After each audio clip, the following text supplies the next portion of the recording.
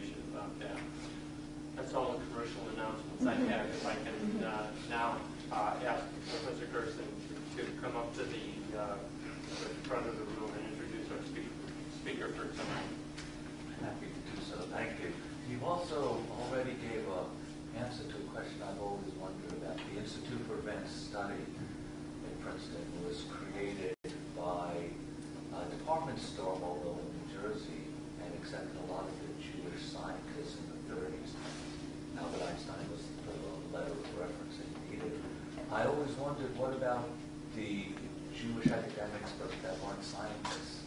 Now you've given me an answer of where they may have gone, actually. And I, am trying to remember the name of the department store chain in New Jersey that um, was the source of the funding for the institute, but it was a department store chain, and I don't know if that exists any longer. Uh, but getting to the topic, I'm very happy to be here this evening for a variety of reasons. One of the reasons is the Center for the Humanities is what makes universities special. So it, this whole program is absolutely wonderful. It's an important aspect of the university. I'm also happy to be here because I'm going to be introducing my friend and colleague, Professor James Webb from the physics department, and he's going to be speaking this evening about his passion for astronomy. And I want to parse that title of the presentation, or the one that I just uh, paraphrased, to two aspects. One is astronomy. Everybody loves astronomy. You certainly did when you were children, and it's still in you whether you realize it or not. But everybody loves astronomy. But the other aspect is his passion. And here's something that is getting to be rarer and rarer amongst people in modern day society. And I don't know why, perhaps a topic uh, for discussion in the future. But you think about yourselves and you might say, do I really have a passion about something? And I don't mean ice cream sundaes. That's, I mean, do I have an intellectual passion or a passion about something that's intellectual, cultural, but something that I really want to spend a lot of effort working on, that I'm willing to spend a lot of effort working at, on. Because it certainly makes your life richer if you have a passion. Uh, Professor Webb has three passions that I know of. Uh, he'll, I believe, only be talking about his passion in astronomy tonight, but uh, that, that'll be up to him. Um, if you want to get something accomplished, you need to be willing to put in the hard work need to have a certain level of passion. The greater the task, the greater the amount of passion that you need. If you have a jigsaw puzzle with a small number of pieces, you only need a little bit of passion to get it done. But if you're trying to accomplish a task of a jigsaw puzzle that has lots of pieces, you need a lot greater passion in order to have the perseverance to stick with it. Well, uh, Jim Webb's passion for astronomy has got a literally a concrete representation, literally a concrete representation on the campus. And it required a tremendous amount of passion and perseverance. And I'm talking about the Stocker Astro Science Center. It was Jim's passion along with the financial help of the university and the state of Florida that helped build that Stocker Observatory. A wonderful facility that will soon have a telescope in it. And again, you need to build the observatory and then bring in the telescope. You don't bring the telescope, leave it out in the rain, and then hope that you can build an observatory. And so the telescope has already been ordered. It's on its way. It's going to be installed late April or May. Uh, but the point is, in order to get something like this built on campus, and this is no longer an artist's sketch, this is a photograph. That artist's sketch was around for 15 years? At least. At least. That requires passion. But with that kind of passion and perseverance, great things can be done. So now I'm going to turn the floor over to Professor Webb to talk about his passion for astronomy.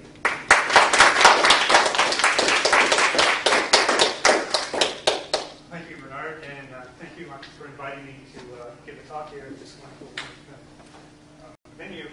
Uh, I want to talk a little bit about astronomy and basically life among the stars. Um, astronomy is one of the most important versions of science because it allows us to put ourselves in perspective with the rest of the universe. I mean, we're so used to thinking things are so important, like the traffic in Miami, or they're doing construction on Tamiami Trail. Uh, that's a very, very small, small, insignificant part of the universe compared to what we see when we look out. And uh, facilities like the Stocker Astro Science Center that uh, Dr. Gerstman mentioned um, helps us teach students about the rest of the universe, everything else that's out there. So I want to talk a little bit about uh, life among the stars. Um, can we uh, turn some of these lights down a little bit so the slides can show up a little better? So uh, we live this is our home in the cosmos. We live in a little planet, quite a sleepy little planetary system at the edge of the Milky Way galaxy. Uh, originally, of course, human beings thought that we were the center of the universe and that everything revolved around us.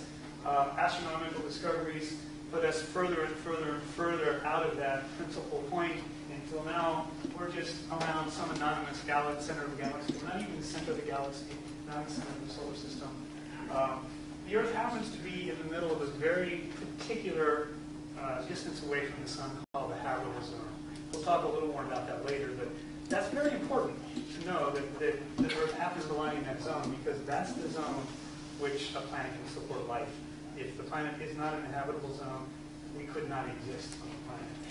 Uh, every life form, and this is uh, came from Carl Sagan in the 1970s. How appropriate I'm giving this talk because the new Cosmos series is coming out on television. Uh, I think next weekend. Uh, uh, Neil deGrasse Tyson is taking Carl Sagan's place. I think he'll do an excellent job. Uh, but this is Carl Sagan's every form, every life form, every person living and dead, every king, every conqueror, everybody who's conquered has lived in this little planet.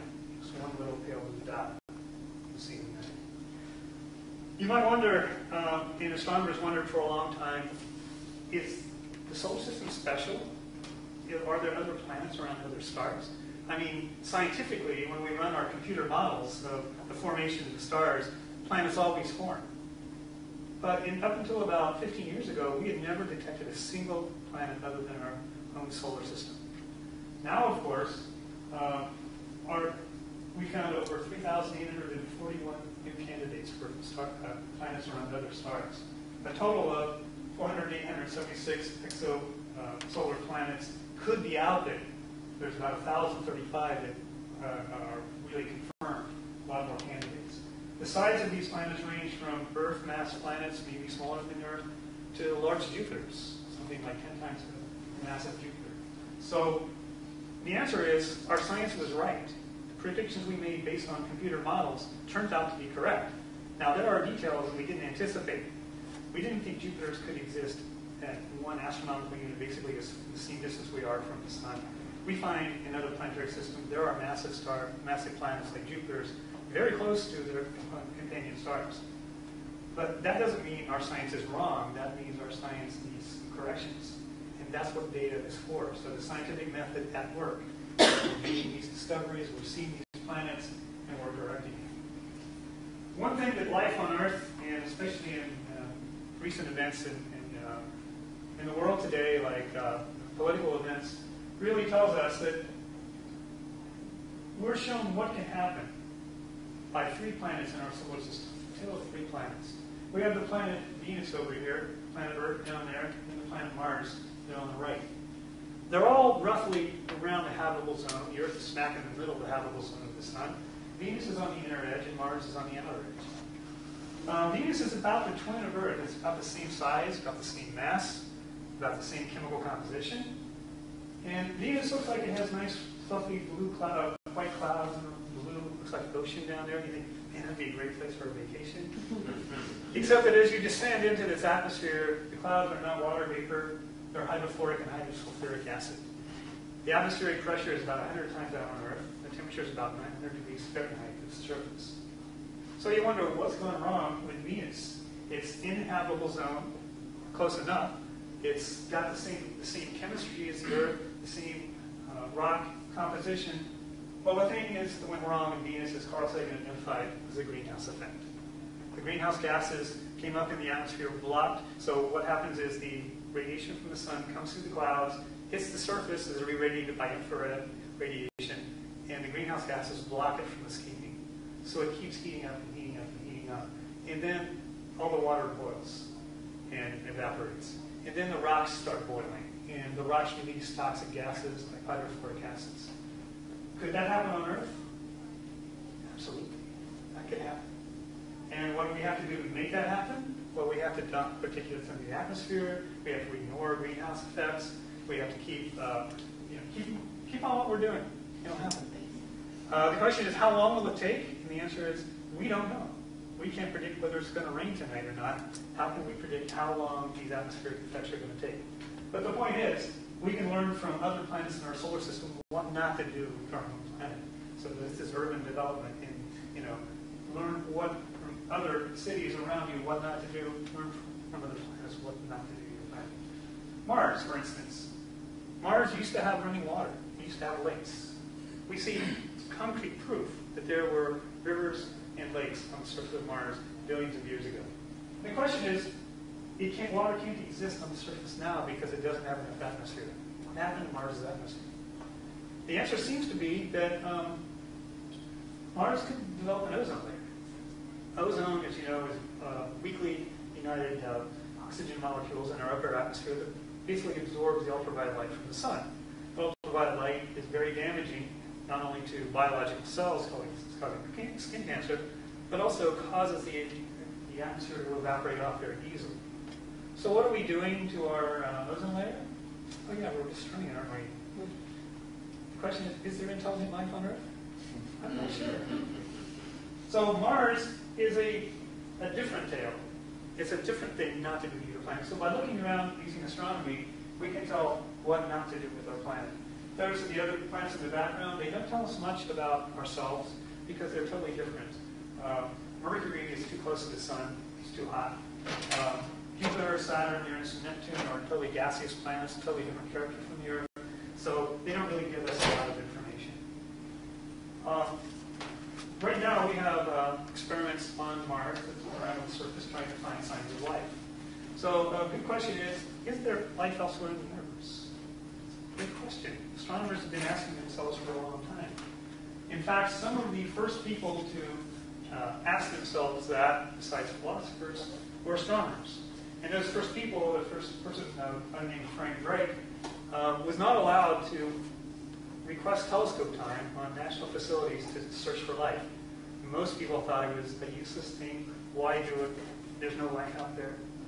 So he had to sneak around and put in proposals to do other observations, and then just a few minutes he'd search. So then we cover. He developed an equation called the Drake equation, and you can get this in some Wikipedia. There's also websites you could go to. And basically, you put in various things and try to determine, try to figure out the number of civilizations that should exist within our galaxy. And some of these factors are the average rate of star formation. We know that. We can observe that using astronomy. Uh, the fraction of those stars that might have planets, we had no clue until about 10 years ago when we started finding these extrasolar planets. And now we know that number is very high. Probably about 80% of the single stars have planets in orbit around them, maybe even higher. The average number of planets that can actually hold life, those are the ones that orbit around in the star's habitable zones that could support liquid water. And that's life as we know it. Life exists in some other form that we don't know about.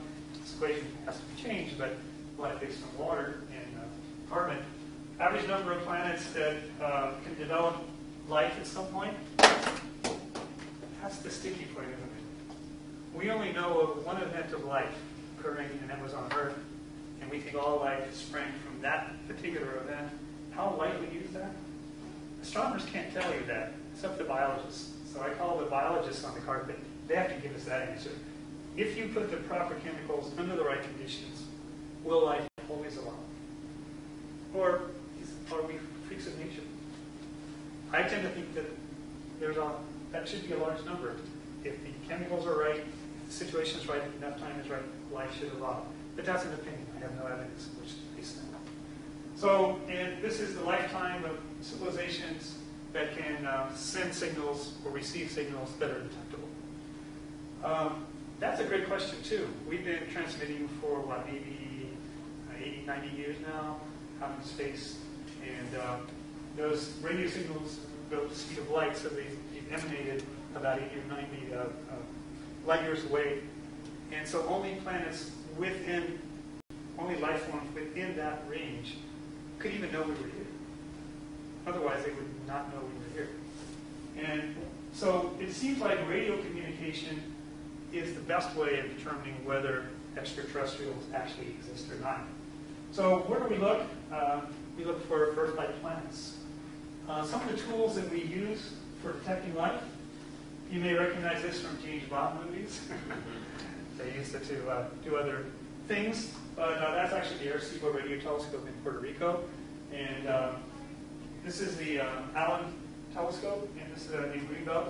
And these telescopes are used to look for radio signals from alien civilizations, as we'll say. Alien civilizations. You might say, well, you know, the radio spectrum is big.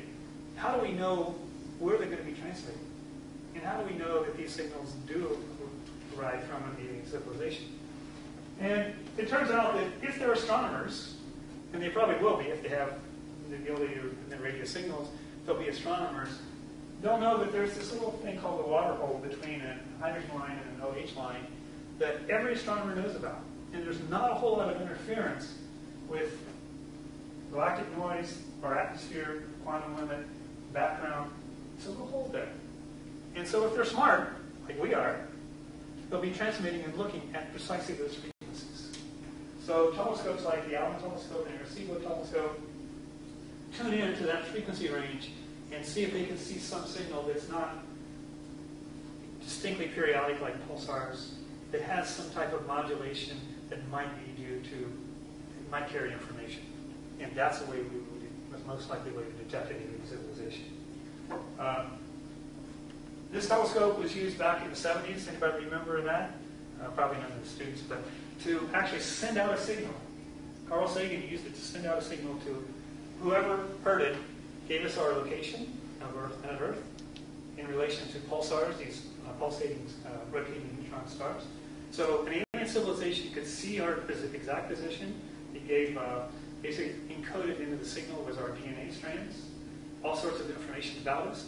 And that made a lot of people upset because they think the aliens are going to know how to kill us. They're going to know that we're good food. So, but, but he sent the signal out, and uh, to date, no one has ever said that they've received a signal that seems to be from extraterrestrial intelligence. There's also the common UFO thing, or about alien visitors. You hear all these reports of UFOs. Uh, I had my own UFO encounter. I'll tell you about very briefly. Um, I was actually, before I went to college, I was working in an automotive factory. And I used to read all sorts of books. I didn't know I could go to college, so I read all sorts of books. I read about uh, UFOs, I read about astronomy, I read about physics, and I was pretty much boned up on all that stuff. And as I started learning more about physics, I started realizing UFO stuff is totally garbage, right? Uh, but I started then debunking UFO cases, and I get calls when I was a graduate student, and the secretary would always send these people to me. I saw something. What is it? You can always figure out it's either Venus or it's an airplane or it's a weather balloon or something. There's always a, a good explanation. These people are simply totally convinced. So I got a call one day. I was at my office from UFO Hunters. Have anybody seen that on the History Channel? So, and I figured History Channel, I had to watch that show. So I watched it and it was just total garbage. So I called them back and said, no, I'm not doing it. They wanted me to, to take this case of a guy who thought he, he flew his plane from Andros Island through a mini black hole and arrived in Miami much faster than it was physically possible. So he had to go through a wormhole. And so I said, look, you know, I don't want to talk to you guys. I've seen your show. And, and he said, no, no, no, we really want your scientific input. We want to figure this out. So they sent me the material, and I figured out what actually happened. Uh, he was actually wrong. His, his uh, altimeter was off. He got into a tailwind. He, I, I, took the you know, fuel capacity of his plane, the capability of his plane, and I figured out he exactly on time, exact tailwind and everything. Totally made sense. So they invited me to the Bahamas, and I met the UFO Hunters guys, and they filmed it. And I explained to them that uh, I even did the, calculate, did the calculations about how massive the black hole would have had to be for them to fly plane through the event horizon and not get destroyed. And then another, another black hole, the other black hole's mouth would have to be moving about eight tenths of the speed of light, and what effects that would have on the solar system. You know? And so I explained it, and they were really nice and very supportive.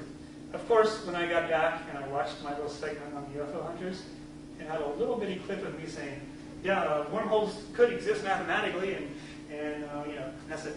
And then they had this crazy guy on after me. So I was infuriated, and so I wrote a letter to the uh, Skeptical Inquirer, uh, and I put them on the Skeptical Inquirer watch list as the worst show on television for science treatment science. But that was my uh, encounter, and of course I was probably laying there in, in, in, the bay saying, you know, there's no UFOs while the alien was behind me, uh, putting bunny ears on me, right? So UFO hunters, terrible cities. So back to science. Um, is the universe dead besides Earth? Uh, that's a good question. As we look out into space, even in the molecular clouds in the galaxy, There are the building blocks of life. There are amino acids floating around. Uh, water and carbon are some of the most common things on planetary surfaces and interstellar gas clouds. Planets now we see are everywhere. The more ability we have to detect them, the more we find. No life has been found on nearest uh, neighbors to date, even Mars, which is studied pretty thoroughly. Uh, but again, Mars only had a limited window among which life could evolve because it lost most of its atmosphere due to the fact that it boiled away. So if it did form on Mars, it was early in the formation of the solar system, probably about 3 billion years ago, and that life, the traces of life might be under the surface. So we can't send little robots crawling on the surface to dig down far enough to see those traces where they would probably most likely be. So we're still not done looking on Mars. But no concrete evidence of alien visitations, uh, no radio signals detected from the other star planetary systems yet. But this would be one of the most profound discoveries of our times if we did detect signals from an extraterrestrial civilization. The thing is, we can't wait on them to solve all of our problems. Right now, it appears uh, we're pretty much on our own. This is a good picture. Um, again, I go back to Carl Sagan, one of my heroes. Uh, he had the Voyager spacecraft. The Voyager spacecraft were spacecraft launched in the 1970s that went out and investigated Jupiter and Saturn, and then went on the grand tour, went on to Uranus and Neptune. And as it was leaving the planetary system, he turned it around and looked back and took a picture of the Earth.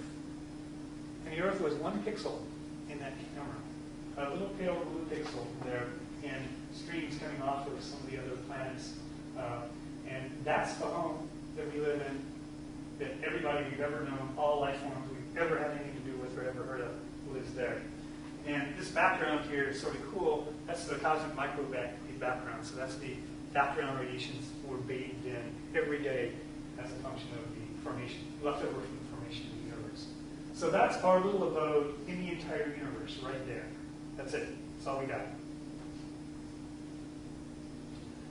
Can it be a home forever? And the answer is no. Absolutely not. The Earth has changed remarkably over geologic time. In fact, how many of you realize that the Earth's original atmosphere did not have any oxygen in it? In fact, the our atmosphere should not contain oxygen. That was put there by plant life. So people like us who breathe, breathe oxygen could not have existed in early Earth. So the Earth's atmosphere was transformed by life uh, early on. We're transforming it again, unfortunately, with uh, climate change. Um, the solar constant increases with time. That means as the sun ages, as it uses nuclear fuel, it gets a little bit brighter every year. Now, not a lot, but a very tiny amount. But we're getting down where we can measure this total constant increase. And as a function of time, this gets bigger and bigger. It's going to have more and more of an effect on our atmosphere. It pushes that habitable zone a little bit further out each time. And uh, the Earth's climate changes due to natural causes, and of course, we have been causing climate change. Unfortunately, um, we went through a number of years where nobody believed that we were causing climate change, and we got rid of some of these safeguards we scientists were trying to put into place. On top of that, the Earth is a dangerous place. Could this happen here to us? Absolutely, it could. It's very, very possible. This is a artist's depiction of a large asteroid slamming into Earth. And you wonder, if this ever happens? And the answer is yes. We have geologic evidence that the demise of the dinosaurs and about 98% of the species that were alive at the time were killed by an impact of a large comet or asteroid in the Yucatan Peninsula. We see the crater. And we see that material from that particular asteroid was strewn all over the Earth. So there's a particular layer called the KT boundary where that material from that impactor flew up, filled the atmosphere, blocked the light, all the cold-blooded animals died off, dinosaurs. Only our little furry ancestors were able to survive, and probably mosquitoes and rats and things like that. And that's, that's how we survived. But this could happen. In fact, this has happened many times. All those red dots are known uh, craters from large impactors on the surface of the Earth. Uh, have any of you ever been to Arizona and actually visited Barringer Meteor Crater? It's a large meteor crater in Arizona that's a fairly recent one. Uh, it's not a global uh, destroyer, but it's big enough to make you think, wow, if that landed in New York City, if that landed in London, Paris, It would be a huge event. So they're scattered all over the world, and of course, the Earth is covered mostly by water, of course, so we don't even see craters for those. But those impacts would not cause craters; they cause tsunamis on local land masses. And you don't see the ones uh, you see. And this, these are fairly recent because of weathering. Weathering basically gets rid of all of the uh, evidence, but uh, those are the ones that we know about. That mess is basically the number of Earth-crossing asteroids. So we've had a program that's been looking for Earth-crossing asteroids. So this is the orbit of Mercury, orbit of Venus, orbit of the Earth, orbit of Mars, and all these other circles are asteroids of no uh, size bigger than maybe 100 meters uh, orbits. And you can see they're crossing Earth's orbit constantly. So uh, there's lots of large impactors out there, and we don't even know where they all are.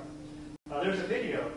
Uh, if you go to YouTube and you watch that video, it shows uh, basically it's a video of the, of the discovery as a function of time, the discovery of asteroids, and it's just amazing. Uh, when you can tell when NASA launches a new satellite, we have a new program funded by the National Science Foundation to find these asteroids, how many asteroids they find.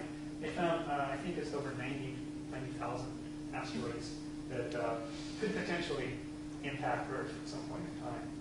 Uh, but solar system is a dangerous place to live. And uh, one of the things that Neil deGrasse Tyson said that I really admired before saying was, it's not that we might, all civilization might be destroyed by the impact. But the worst thing we know about it, and we have the technology to do something about it, and we don't. Just because we don't choose to. That's the worst part. Here's some um, near-Earth encounters. Some dates since 1914 up to 2012. And just look at the approximate size. It's 500 meters. There's a kilometer, 5, 5,000, uh, 5, uh, 5 kilometers, 5.4 thousand meters. And um, basically, some of them came in very, very close, hundreds of thousands of miles away, uh, kilometers away from the Earth. And we know that recently we had a couple of events. The asteroid DA-14 came between, uh, basically skirted the solar system in 2013, and then exploding meteor in Russia that injured about 200 people, knocked out uh, windows all over the place. And the worst thing is that we only have the same amount of people looking for these Earth-crossing asteroids that operate a McDonald's. That's how many people are doing this. And the amount of money that NSF sinks into this is very small compared to the amount of money that they send, they, that's sunk into a lot of other things. So we have a very small amount of people trying to save the Earth from these impacting asteroids. And it seems such a ridiculous thing. What really concerns me, though, uh, more than that, is that, you know, I see students, my students in introductory classes, I see my nephews and nieces and great nephews and nieces. They're always with their heads down. They're concerned about their iPads or their mini, mini phones or something like that. They're never really looking up. And while they're looking down, making that next text message, there could be something crashing in, uh, destroying the entire Earth. Uh, it's just amazing to me that we don't take this threat seriously. Are there other Earths? I've already told you we found lots of other planets of ranging in sizes from uh, Earth size. Are there other Earths in habitable zones? And here's just an example of some that I found that uh, are in habitable zones of their parent planets. Uh, some of the stars are smaller, than, so they have to be closer in. Some of the stars are larger. Uh, Tau Ceti is one of the closest ones, and it's got a planet that there's the size of the Earth in relation, larger than the Earth, but it could conceivably have all the characteristics of an a life-bearing planet. So those are the places we, we want to look we were interested in finding them. The question is, are any of them habitable or inhabited right now? Um, we don't know the answer to that yet. Again, the habitable zone is a small area, and the Earth is right in the middle of the sun's habitable zone. Uh, Venus is a little too close, Mars is a little too far away, but they're very close to the edges. And the other question is, how do we get there? Even if we could find that there's another asteroid coming in and hit the Earth, we want to send a mission to one of these other stars, how do we get there? because we're not really doing anything about it. Um, I don't know how many of you, I know a few of you were at the TED Talk. And I took that TED Talk very seriously because it was a message that I wanted to get out. It looks like we as a civilization, at least in the United States, are at a crossroads. Uh, NSF funding is way down. We've basically disseminated NASA. I mean, I'm very familiar with uh, Goddard Space Flight Center. I worked there for a year. I have lots of friends there, Kennedy Space Center. And we basically lost about three quarters of the jobs at Kennedy Space Center were just, they were just kicked out. They were just lost due to budget cuts. Uh, there are no real missions for NASA. We don't have any space shuttles right now with the crisis with Russia. What are we going to do with the space station? We have a space station we can't even send people up to or get people back down from unless we use Russian, uh, Russia's rockets. Uh, at that time, the James Webb Space Telescope, the Generation Space Telescope, funding was in jeopardy. It's a little firmer footing now, but it's still not completely done. And um, what really got me was one day I turned on CNN. This has been uh, about six or seven years ago, and when they had the trials about global warming, where researchers were getting their funds, or you know, their uh, uh, uh United States, the state, the state-funded funds rejected because of they're talking about global warming being caused by humans. Uh, they basically had their NSF funding was being cut uh, because of politics. That's the worst thing. I never thought I would see that happen in the United States. So we have a couple of options. We have one option, since we're stuck here on Earth, we, don't, we can't go anywhere. Um, don't fund education, kill NASA like we're doing, retreat back into our ship. One of the first books I ever read was Carl Sagan's uh, Cosmic Connection.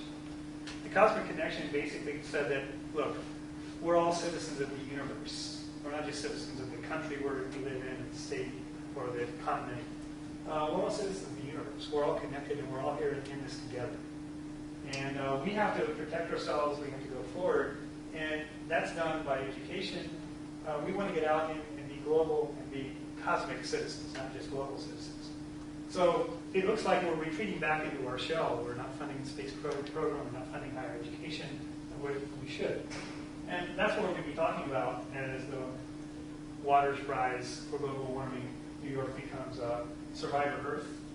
Uh, or we could go option two, fund education, lead state science and process, fund NASA and space explorations, and actually become those cosmic citizens that Carl Sagan said we should become. Uh, I hope we, are choosing option two. In the future, when I was growing up, um, my favorite show, I, probably guess this, was Star Trek. Who would have guessed, right? Um, Star Trek had people of even aliens, all different nationalities, participating in exploration. Sure, they had battles and they fought, but if you watch the series, everything behind the main show was not fighting, it was not military. It was exploration. It was making connections. It was getting out and being local, uh, uh, cosmic citizens. The new Star Trek movies are a totally different genre. They're all fighting and all battles and all blowing up. I, I can't get into it like they do in Star Trek. Um, I thought back in the 70s when I watched people walking on the surface of the moon, yes, we really did walk surface of. I know some younger people weren't born then. A lot of my students weren't born then, and a lot of my students tell me, well, I read that was a hoax. We really did. And believe it or not, that we went on the moon with computers that had uh, about, the memory was about 200 kilobytes. I said kilobytes, not megabytes or gigabytes, kilobytes. A lot of those computer circuits were hand woven by people with wires. Uh, very primitive compared to what we have today. And so people say, well, we can't go to the moon. We don't have the technology.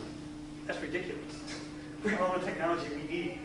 It's just that we haven't got the desire to do it, to go out there and be a global citizen. The James Webb Space Telescope, no, it's not named after me, unfortunately. It were. It was named after uh, the director of NASA when we landed on the moon. He was instrumental in making that space program operate. Uh, it's going to be the next generation Hubble Space Telescope. Hubble Space Telescope has shown us so much about the universe that we never knew before. It's uh, allowed us to look into uh, distant places in the universe that we had no idea existed before. And in fact, if you go over to the Stocker Astro Science Center, and I invite you all to do that, if you look up in the exhibition hall, you see not a starry sky, but you see images of galaxies. So Hubble Space Telescope found a place in our galaxy that was devoid of gas and dust, and there were no stars in that area, or very few stars. And it peered out that and looked out for several weeks and just taking exposure. Apparently an empty place. When the picture came back down, the CCD image came back down, and they looked at it, it had billions of galaxies. And so the early, was, these galaxies were the furthest galaxies we've ever seen. And so we have that painted on our dome in the Astro Science Center. So when you walk in, uh, look up and that's what you'll see. And that basically opened our eyes to lots of things that we didn't know about the universe. Uh, the Hubble Space, so the James Webb Space Telescope is going to be even more powerful than Hubble and allow us to look not only further out in space, but further back into time, very close to the origin of the Big Bang. And it's going to allow us to peer into dust clouds and see planets in the process of formation and stars in the process of formation that we've never seen before. So it's going to be very spectacular.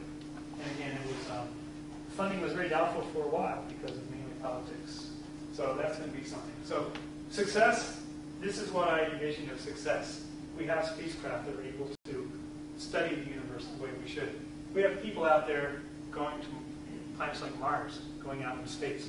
One of our students, our astronomy students, I'm happy to say, our physics majors, Patrick Ford, you've probably seen him in the paper or his name. Uh, he's on the Mars One thing, and he made the final cut for astronauts who might go to, to Mars. So they're, they're, they're going to do a couple more cuts, but he, he's made a good cut. They started out as, uh, I think, 100,000 people, and they're down to maybe 600, and he's still in the running. And this is what they're going to be doing, hopefully, uh, sometime in the near future. Um, this brings up another issue. It's called the privatization of space that's been popular. Uh, they're dialing down, as they dial down NASA, they reroute some of NASA's money into private firms try to get them to go to space. And uh, SpaceX is one example. I have a problem with that because uh, private companies tend to look at for profit. And that seems to be a bad thing when you're talking about doing something for humanity, regardless of national nationality, regardless of uh, profit. And our failure results in this type of scenario. Uh, we don't deal with global warming the way we should be, the way we could be dealing with it. We don't deal with the threats. And uh, who knows, it could be one of these science fiction movies that you see in movie theaters. So who knows what the future will hold, but education is the way to go. I'm really hoping this new Cosmos series which with Neil deGrasse Tyson is going to do for your gener- this upcoming generation what Carl Sagan did for our generation. And um, hoping that's the case. So that's all I really want to talk about. I'm happy to answer any questions. And. And I'm, before I do stop, I want to invite you all to our next star party, which is Friday night, this coming Friday. We have Russell Romanella, who's previously from NASA. He finally retired, but he came, he's going to come back and tell us about the direction NASA's taking. That's 8 p.m. in CP 145. And after that, we'll open up the Stocker Astro Science Center, and we'll have the telescopes on the roof open if it's clear weather, so you can see Jupiter, you can see the moon, you can see maybe even Saturn, side in the sky down, you can see it, uh, probably Mars. Uh, and I'll also uh, take tours down to our Starship control room. And you have to ask me about that. That's my So thank you very much for your attention.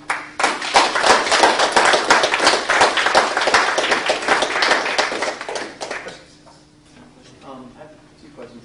Um, one is that um, NASA's funding is, is obviously decreased, and um, I understand they're not sending any more manned flights anymore. Are they still are they still focusing on, on space exploration with this with this the amount of funding that they have? And the second part of my question is, is kind of related. What would it take for the United States to increase its funding for NASA and to get once again interested in space exploration, in your opinion? So the answer to the first question is what NASA has now been charged to do is not do manned space exploration themselves, but to take the money given to NASA and route it to these private companies SpaceX and some of these other companies. And they think they can do a better job of more cheaply putting people in orbit up to the space station. Uh, but there are only private plans. NASA has no plans right now, concrete plans, to explore Mars, to go back to the moon, to do things like that. So uh, right now there are no NASA is just sort of handling the money for these private corporations. I think that's, personally, I think that's a mistake. That's just me. I don't trust businesses. Person. The second part of the question is, what does it take? The answer is, I wish I knew. I would be, I would be right there doing it if I knew what, what to do. Uh, right now, they're threatening to cut funding for national observatories. The NSF is cutting funding for facilities that are uh, retiring telescopes that are absolutely critical for locating these Earth-crossing asteroids. But the money is just going away. Uh, as Neil deGrasse pointed out, I think it was one, one tenth of one penny of everybody's tax money uh, would be enough to support NASA to the level that we need NASA to be supported, to bring back all of those people who have been laid off, start building rockets that we can actually send people up to the space station, maybe even a lunar uh, plan to go to the moon. Uh, NASA right now is concentrating on sending out unmanned spacecraft like rovers that are on the moon right now, uh, uh, sorry, on Mars right now. Um, but we don't really have a focus. And I'm a big, I love Obama, I'm a big proponent of Obama, but I'm very disappointed that he has not rescued NASA. I know he has a lot on his plate, everything, but it's a big disappointment that NASA is falling on the wayside. And, uh, it's just disturbing. I, I don't know what it takes. I wish I knew. You said that the new telescope that they're building can peer further into the origins of the, of the Big Bang. Do you mean the first planets to be created by the Big Bang? So basically what happens is uh, as you look further and further out, uh, the light gets redshifted because the Earth is, uh, the universe is expanding more rapidly. So, gonna, so the new telescope, the James Webb, looks in the infrared part of the spectrum. So that's exactly the frequencies at which the light from the first galaxies, called the assembling of galaxies, will come from. So we won't be able to see planets out there or maybe individual stars, but we'll be able to see galaxies that first formed after the origin of, the universe. So going to be very exciting to see how galaxies were first assembled. And also that infrared allows us to peer through the gas clouds that basically cover. So what happens when stars form, you have a huge gas cloud, the center collapses and the star forms in that center. It's completely shrouded by the excess gas and dust outside, so we can't see it. But the infrared light goes right through that, so we'll be able to see the stars in there collapsing. And so the James Webb Space Telescope not only is going to be bigger, it's going to be out uh, beyond the orbit of the moon, but it's going to be sensitive to those frequencies that are really critical that we understand what's going on. So it's going to be pretty cool. Plus, it has my name. so um, I teach in religious studies, and part, it seems to me that part of the problem, um, and I teach religion and science and religion and nature stuff, and part of it is that our extant sort of meaning-making practices are, you know, thousands of years outdated in terms of what we know about the universe, right? And so again, it's, it helps us to think very small. Um, what do you think about projects like Brian Swimme and, and you know, uh, Tom, to try to narrate the universe as a story that we can fit ourselves in and see ourselves as sort of uh, conscious, the universe come to conscious life itself and that sort of thing. Do you think we need new, like, meaning-making practices, new narratives based upon uh, the, the universe story, so to speak? Or? Yeah, that is one approach because I think what's happened is that society has been sort of becoming numb to the whole science and astronomy thing. Uh, when Carl Sagan first came out with Cosmos, it opened everybody's eyes, and, and he really was great at getting out there and getting the people who are not educated, who do not understand the physics or afraid of the math, and demonstrating them that they can understand these processes that are going on, and that they can and, you know, enjoy and, and go along this, this journey throughout the universe with him. Since then, nothing has been done, and the science has been coming at us, and, and you know, people get excited when we land something on Mars, but you know, they, they tweet about it for about 10 minutes, and then they get more interested in the guy's hairdo uh, than they do the actual discoveries that they find on Mars. So I think what we need is to get society somehow or other, maybe that's the method, to get them interested again, to get them to see that, you know, we live in a universe that's out there that's very rich and it has a lot of things out there, and we're focusing little bitty planet, this little bitty landform. And, and we, you know, what I do with my astronomy students, uh, I teach astronomy. I love my class. Uh, I get 300 or, or about 130 fresh faces every semester to lead on this path of discovery throughout the universe.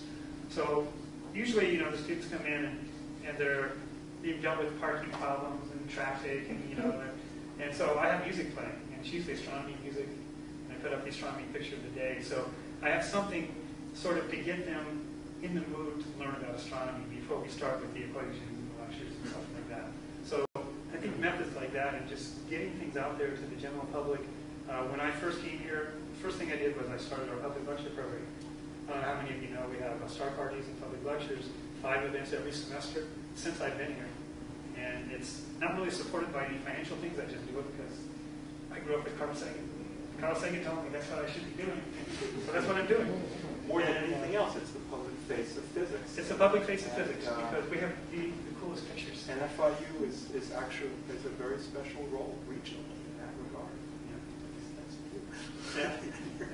Well, in, in Southern Cross, our local astronomical society, uh, we, we go out to uh, high schools, we go out to uh, lots of different places and give talks at uh, probably every high school in Miami. we give talks.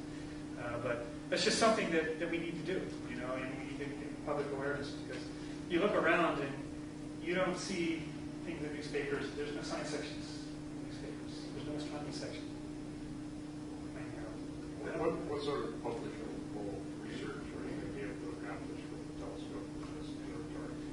Um, well, publishable research and research and teaching is two different things. So this is basically a research facility, or a teaching facility. This is built for the students. So already, we, even without our big 24-inch telescope, we just have our 12-inch in there now. I've already had my observational astronomy class take some video of the moon, and we built labs teaching the moon.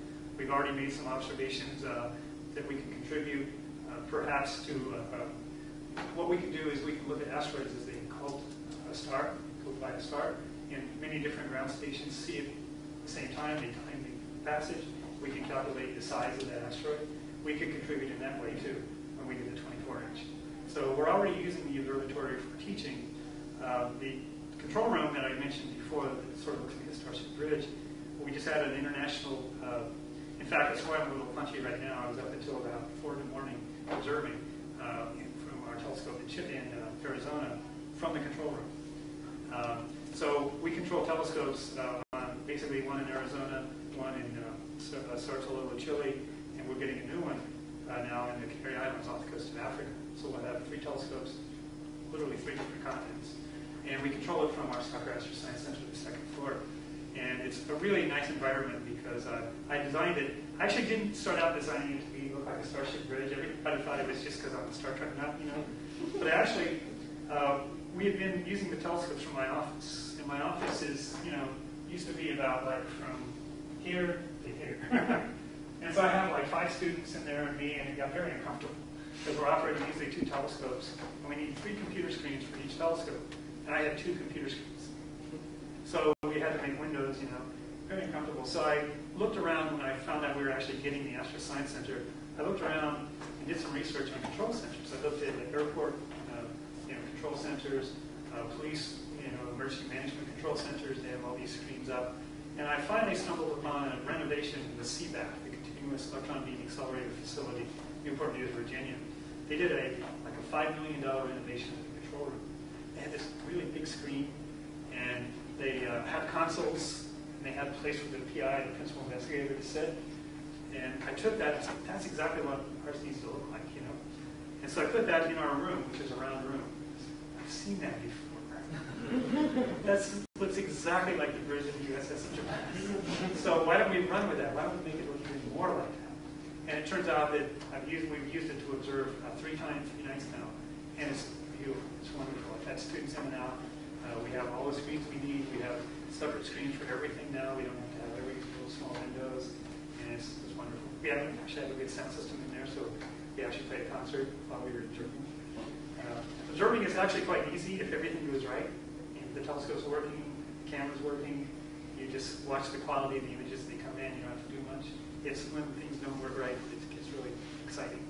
Um, we couldn't watch the concert, but everything was working. So I guess the answer is we can contribute a little bit to research with it, but mainly it's a teaching facility. That's what it's intended for. The great thing is our local telescope will have the same operating system as the telescopes that are research observatories. So once the kids learn how to use the local telescope, they just switch over. The same operating system in front of them. Same thing. I And I guess on, on that same point, just for curiosity's sake, um, the telescopes that are out in Arizona and places that are obviously away from cities and stuff like that, how will light pollution affect the telescope here in, in FIU? And, and do you guys have like certain times to, to observe and like how does that come into play? So, um, well, observing time, uh, our, our telescopes in Arizona, in Chile, and now in the Canary Islands are run by what's called the CERT Consortium. We're a member of the 10 University Consortium.